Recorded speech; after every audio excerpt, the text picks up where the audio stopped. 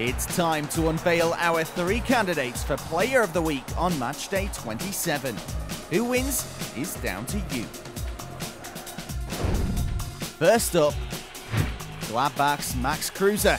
He didn't just convert the seventh penalty of his Bundesliga career in the game against Hoffenheim, but he also assisted two other goals. Kruse. What a fantastic pass! Oh, that was a great goal from Gladbach! Kruse was also on the ball the most in Borussia's 4-1 away win and made the most runs. A first-class performance. Candidate number two, Gonzalo Castro. The Leverkusen midfielder was involved in all four of his side's goals and even bagged a brace. The ball lead off the Bellarabi. Excellent football, Castro. He assisted a total of 13 shots in the game against HSV, a new season record.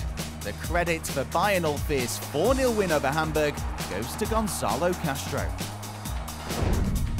And last but not least, it's Robert Lewandowski.